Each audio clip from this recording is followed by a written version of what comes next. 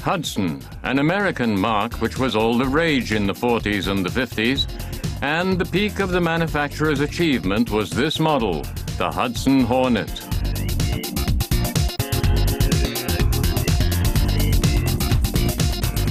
Its dynamic, stretched-out form impresses even today.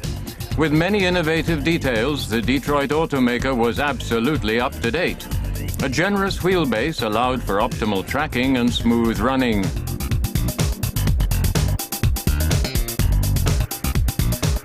Much was made of the fact that the center of gravity was extremely low.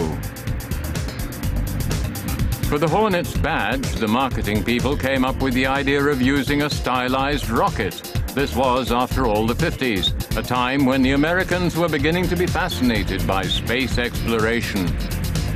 The decorative treatment of the rear end was, however, a throwback to the 40s, when American car makers were inspired by Art Deco. The side view is memorable with the low windows, but this is not exactly new. There were already streamlined models in the 30s, like the Chrysler Airflow.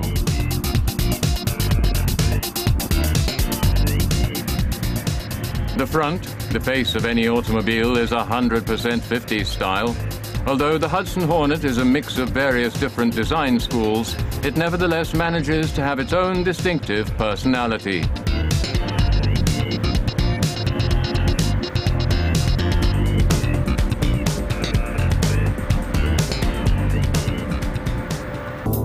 When the Hudson Hornet was launched in 1951, the garage owner Marshall Teague entered his almost standard model in NASCAR races and enjoyed immediate success. The hitherto dominant Oldsmobile 88s began to look a bit old-fashioned. Hudson called their new self-supporting carrosserie Monobilt, and this is what gives the car its low center of gravity.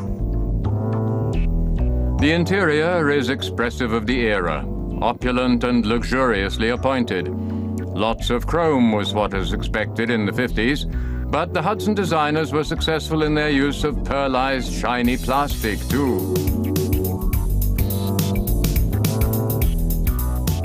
The Hudson's heat exchanger was called weather control. Even in those days, in the United States, a car radio was standard equipment, but it took a while to warm up. Enough time to lower some windows and let a light breeze in.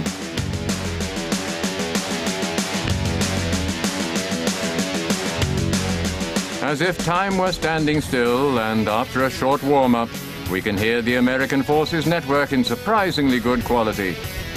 The Hornet was so roomy that even when it was standing still, you tended to just lounge in the automobile, to hang out, relaxed at the wheel, or in the back.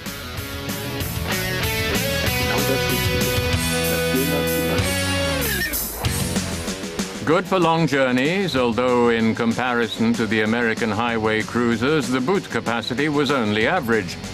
But far from average was the power plant.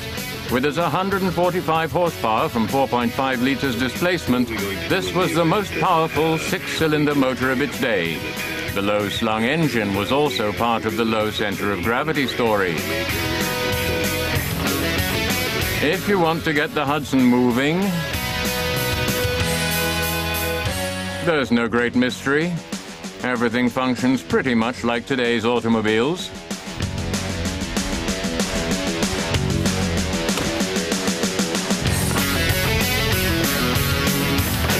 Although at the time in Europe, manual gear shifting was the order of the day, in the United States, from the beginning of the 50s, automatic drive had become widespread.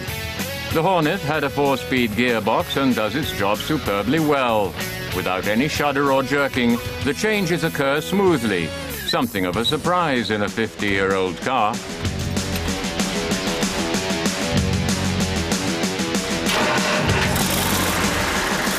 Even by today's standards, the Hornet offers a comfortable, soft ride.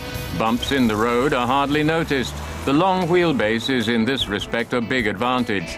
And the tracking is first class on the straights.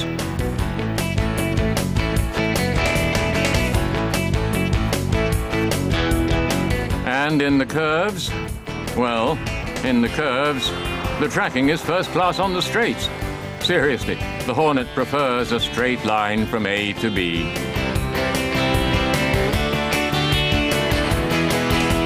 But in comparison to other American cars of its day, the Hornet was positioned in the sports limousine category.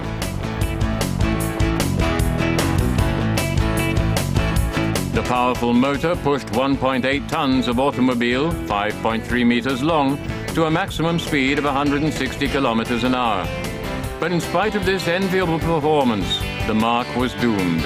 After a fusion with the Nash Company, the last Hudson left the assembly line in 1957, and there were further changes of ownership until Hudson came into the Chrysler fold. The Hornet had assisted braking and a butter-soft automatic drive, but the steering remained obstinately manual. The fact that this battleship can be held on course quite easily has a simple reason. Count along with me. One, two, three, four, five, six. A massive steering wheel with an unbelievably indirect translation of the commands. Sudden maneuvers are all but ruled out. But today there's no reason to drive such a car as it was driven then. Today it's just a relaxed cruise and the enjoyment of a rare and beautiful masterpiece of automobile craftsmanship.